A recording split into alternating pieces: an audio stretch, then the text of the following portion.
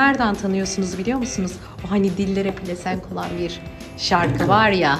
Deli Mavi. Crazy İşte o şahane eser onun kaleminden çıktı. Hangi duygularla yazdınız? Çok aşık olduğum dönemlerde çok şarkı yazdım. Hiç aşık olmadığım dönemlerde de çok şarkı yazdım. Oradaki o e, mavi gözler, evet duvarımdaki Atatürk'ün resminden e, Feyz Hanım Öyle mi? sözlerdi. Ben 20-27 sene sonra o şarkıyı öyle dinlediğimde ağladım. Kaç eseriniz var? Herhalde 300'e yakın. Kaç? 300'e yakın. İnanılmaz. Siz bir beste fabrikası mısınız? Yok, söz fabrikası. Beni çok e, duygulandıran bir şarkım vardı.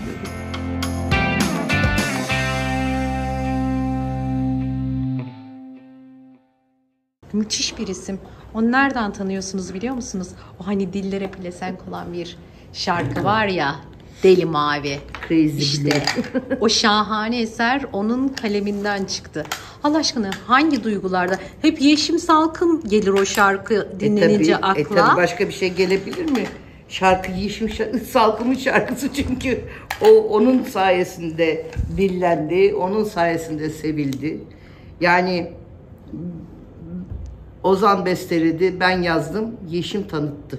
Hangi duygularla yazdınız Allah aşkına? Ne Vallahi- yaşıyordunuz? Hangi kafadaydınız? Yani kafası yok onun ya. Ee, bu öyle kafayla alakalı bir şey değil. Öyle kolay yazılacak bir eser değil ya. Şimdi melodinin insanda yarattığı bazı duygular var zaten. O duyguları e, melodi insana fısıldıyor bazen. Çok aşıkken mi yazdınız? Çok aşık olduğum dönemlerde çok şarkı yazdım. Hiç aşık olmadığım dönemlerde de çok şarkı yazdım. Yazılabiliyor mu öyle? Yazılıyor. Mesela- Yani benim kendi aşkım önemli değil ki. Benim senin aşkın da benim için önemli olabiliyor. Çok. Pek çok arkadaşımın, solist arkadaşımın yaşadığı bir şey bana ilham olmuştur ve ben onu e, kaleme dökmüşümdür. O hani diyor ya şarkıda sır sana yemin sana sır. Söz, söz, Söz sana. söz. Söz Nasıl sana, nasıl yemin güzel yani söz. bilmeyen yoktur herhalde o. Valla bilmiyorum. Ne mutlu bana.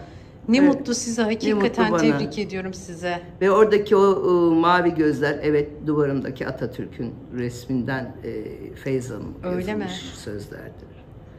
Oradaki belki yenildik, eskidik falan bunlar bir aşka dair bir şeyler olabilir ama oradaki en büyük aşk mavi gözleri olan aşktır. O da benim Atatürk'e olan aşkımı ifade eder zaten. Şahane. O yüzden de 29 Ekim'de o şarkıyı gerçek e, gözlerini ifade ederek bir kliple ortaya koyduk. İnanılmazdı. Yani inanılmazdı. Hakikaten çok Teşekkür başarılıydı. Ki insanın gözleri dalıyor şu an sizin evet. olayı. Ben ben 20 27 sene sonra o şarkıyı öyle dinlediğimde ağladım. Ağladım. Hakikaten öyle. Ayrılıp da kavuşamayanlar işte ne bileyim Çok samimi bir ikrardır o söz. Yani söz sana söz veriyorum. Yemin ediyorum senden başkasını sevmeyeceğim var ya. O işte söz sana yemin sana söz. Ee, değmedi değmez gözüme başka renkli iki göz. O işte o çok samimi bir ikrar olduğu için de insanlar çok bir şey söylemek istiyorum size çok samimi. Bu kadar güzel cümleler, bu kadar iyi kelimeler neden yeni jenerasyonda günümüzde bu kadar iyi eserler üretilemiyor? Bize göre Sanıyorum, üretilmiyor. Sanıyorum, sanıyorum. Ee, yeni jenerasyon kolayına kaçıyor, kaçıyor işin. Bir de çok sokak ağzına döndü. Hayat sokak ağzına döndü zaten. Yani letafet e, kalmadı. Asalet kalmadı. Kibarlık kalmadı. Cehalet aldı başını yürüdü. Cehaletin olduğu yerde letafete yer yok zaten.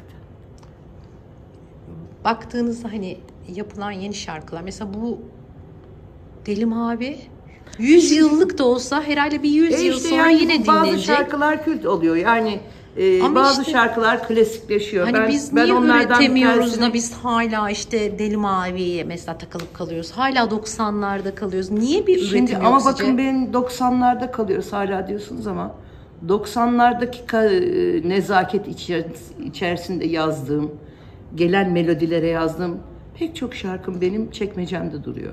Çünkü e, günümüzde insanlar e, yeni jenerasyona hitap edebilmek için onların e, arz ve taleplerine uygun şeyler yapmaya çalışıyorlar.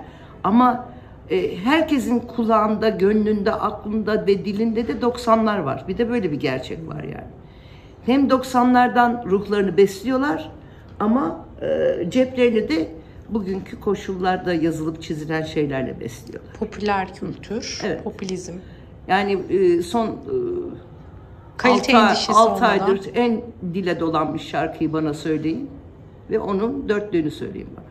Hatta Aklıma şarkıya gelmiyor, girin. inanın. Teşekkür ederim. İnanın aklıma E, gelmiyor. gelemez. Bir hiçbirimizin gelmiyor çünkü. Ama bana 90'ları sorsanız ben şimdi Hepsini hepsini söylerim. Yani sözlerini de. Evet, evet. Ya acaba diyorum hani o dönemki sanatçıların kalitesinden mi, Yani şimdi öyle değil eserlerin mi? kalitesinden 90'lardan mi? mesela benim yazdıklarımdan bir, bir helal et. Yani zorlu sevda. Niran Bir, Ünsal'dan. bir sebebim e, Demet Akalın'ın çıkış ah, şarkısı. günlerim. Efendime söyleyeyim bir farz et o favanların okuduğu farz et. Yani e, 89'lardan Zerrin Özer'in okuduğu sevildiğini bil. Yani o kadar kült şarkılar var ki. Peki bu kadar kötü şarkı yapıp da iyi para kazanabildiniz mi? Hak ettiğiniz Yok yere hayır geldiniz hayır hayır hayır hiç öyle bir şey yok. Gerçekten. Hiç öyle bir şey yok. Çünkü e, olmayınca olmuyor yani. Kaç eseriniz var? Herhalde 300'e yakın. Kaç? 300'e yakın. İnanılmaz. Siz bir beste fabrikası mısınız? Yok söz fabrikası. Söz. yani benden daha çok olanlar var. E, sizin en sevdiğiniz eseriniz hangisi? Benim bütün eserlerimi ben seviyorum. Yazdığım her şeyi severek yazdım. Böyle ama O hani bir tanesini dinleyince hani böyle insanın böyle işte bu ya ciğerimi paramparça ediyor. Bunu Ciğerimi da paramparça buluyorum. ediyor değil, beni çok e, duygulandıran bir şarkım vardır. Bir türkü adı. Bir türkü. Evet, bir türkü adı. Çok sevdiğim şarkılarımdan bir tanesi. Kaç yaşında başladınız siz yazmaya? Valla ben aslında 14 yaşında şiir yazmaya başladım kendi kendime. O kadar. Sanatçılar sizin kapınızı sürekli çalıyordur, bırakmıyordur. Yok yok çok eskisi gibi çalan yok. Çünkü herkese kendi işini kendi yapıyor artık. Peki şu anda ne yapıyorsunuz? Hmm, Şu anda yine söz yazıyorum. Sadece söz yazarak mı Ee, geçiniyorsunuz? MSG yönetim kurulundayım. Efendime söyleyeyim. Emekli bir tarafım var. Hepsi bir arada yaşıyoruz işte. Tam bir emek ya ama yani dört kaç yıl olmuş? Bayağı olmuş hesaplayamadım o kadar uzun yıl ki. İnanılmaz. Teşekkür Çok ederim. teşekkür ediyorum Ben teşekkür şu ediyorum. şahane Ben teşekkür röportaja imkan sağladığınız için. Yakında çıkacak olan e, Söz ve Seda Akay tribüt albümümüz var. Ne zaman? Orada da e, verelim. 15 Aralık 20 Aralık gibi çıkacak. Allah Ocak gibi çıkacak Allah'ın izniyle. Orada da keşfedersiniz en sevilen şarkıları zaten. Kesinlikle. Zaten birçok şarkınızı seviyoruz. Deli Mavi dediniz zaten beni benden aldınız ama zorlu sevdam.